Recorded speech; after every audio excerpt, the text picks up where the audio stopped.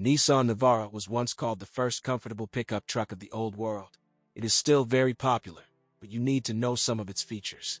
By the early 2000s, Nissan had a solid fleet of light trucks. However, some models cannot be called light, the same Titan, for example. They were sold mostly in Asia, the Middle East, and America. Europe and Russia did not have the pleasure of driving and transporting goods in Nissan pickups. In some places, an old King Cab and a more recent NP300 were offered, but the time of the first was long gone, and the second was too utilitarian for everyday non-commercial needs. Unsurprisingly, the introduction of a new mid-size pickup truck into Nissan's lineup was received with great enthusiasm. Yes, and marketers predicted a pickup boom in the coming decade. And so it happened. Pickup truck sales have skyrocketed, including in the used car sector. The product, of course, is specific, however, since most car owners perceive a pickup truck primarily as a budget version of a prestigious SUV, and only then as a truck and a rogue, the demand for second-hand copies is stable. About the model, in many respects copies Pathfinder, but the pickup truck was supplied only with the 2.5 turbo diesel YD25 series, 174 or 190 horsepower, which has different modifications of fuel systems. Typical diesel ailments, plus a not very tenacious turbine and the possibility of cracks in the MCC when overheated. At the same time, a resource of 320,000 kilometers is declared. It is combined with mechanics or a good machine gun Jatco JR-507E. Its limit is estimated at 350,000 kilometers, despite the rapid wear of the solenoids, noticeable by 150,000, and frequent electronic failures. The Nissan Navara pickup truck with the D40 index entered the European market in 2004, exactly one year before the Pathfinder SUV, created on its platform. There were two differences between these cars, in addition to the obvious, the body. The pickup has a dependent spring rear suspension, the SUV has an independent spring, the Pathfinder has an auto mode and all-wheel drive, the Navara has an honest part-time. Engines and transmissions are common, a 2.5-liter diesel engine, as well as a 6-speed manual transmission and a 5-speed automatic transmission. Unless the gasoline 4.0-liter V-shaped 6 was not put on a pickup truck for a long time. Both SUVs boasted a force-locking rear differential, an option for the diesel version. As obvious advantages of the Nissan Navara, car owners noted excellent maneuverability with a small turning radius, sensitive steering and quite comfortable suspension, which was not typical for a truck of that time. All of the closest competitors in Europe and Russia were stiffer, cramped, or more utilitarian than the Nissan pickup.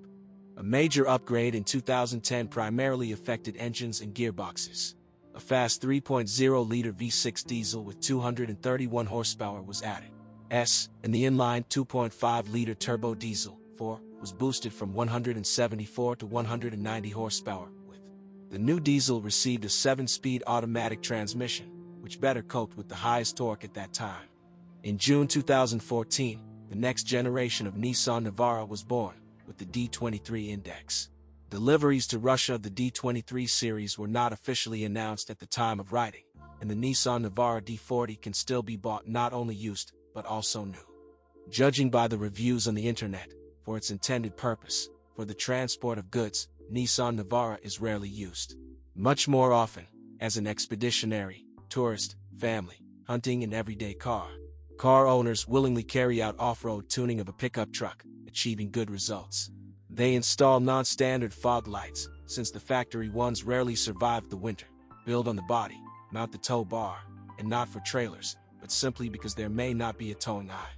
Car owners and servicemen note several car weaknesses. First of all, insufficient corrosion resistance. This applies to both the body and attachments, sills, chrome bumper trims, etc. Chrome fades and peels off, minor damage to the paintwork swells. After three or four winters, small fasteners stick tightly. Before unscrewing, any bolt or nut smaller than M12 must be properly soaked in a penetrating lubricant, otherwise a breakdown is likely. After restyling in 2010, complaints decreased, which, however, can be attributed to the young age of post-styling cars. In general, the purchase of a used Nissan Navara, of course, should be accompanied by a thorough inspection on the lift. Highly desirable and a test run.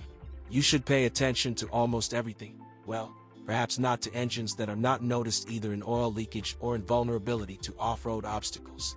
Only a test drive can reveal rhythmic noise and vibration at a speed of 90 to 95 km/h, indicating the imminent death of one of the crosses.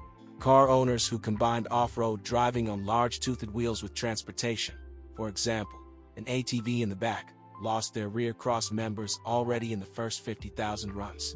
On the other hand, this can be considered a kind of fuse, since a broken crosspiece in time does not allow, say, a transfer case to break, which, unlike the Pathfinder, almost never happens with its automatics.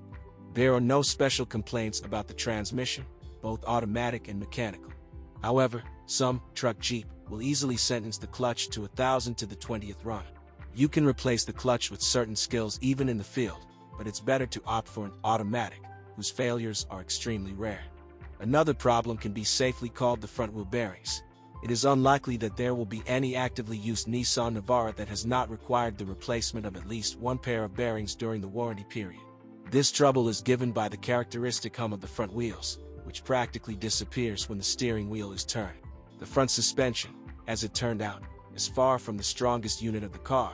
Often the power steering fails, both the rail and the compressor itself. They cost decently, under 25,000 rubles each.